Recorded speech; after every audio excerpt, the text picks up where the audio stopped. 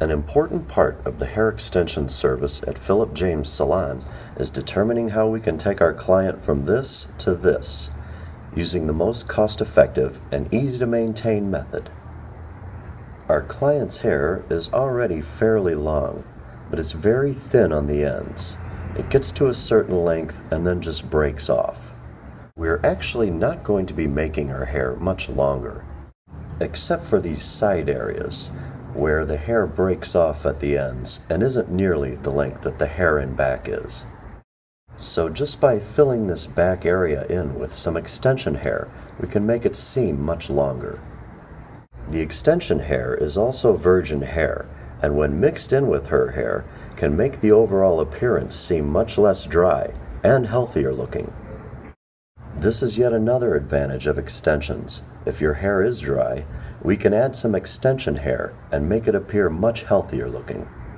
And thus our goal with today's client, to make the ends of her hair look more full, give her volume all over, and an overall healthier looking head of hair. We create a base with your hair using microlinks and sew the hair onto this base. If you've had the conventional sew-in with cornrows or braids, this is altogether different.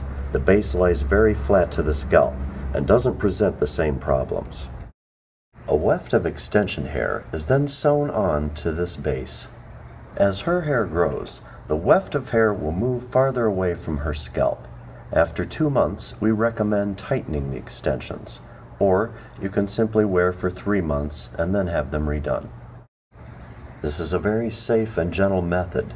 We can attach more extension hair with fewer attachment sites using this method. Unlike some types of extensions, this hair is reusable.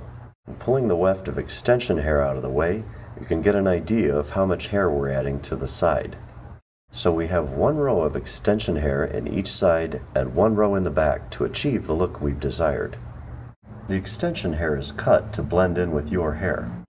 The placement and amount of hair will vary from client to client depending on their needs. So this is what we call a partial, and there are of course many variations. Remember, the thicker your hair is, and the longer you want it to be from your current length, the more it could cost. To maintain these extensions, you may use any products you like. Just remember to keep the extension hair brushed at the scalp. Gentle, cost-effective, low maintenance. Philip James Hair Extensions.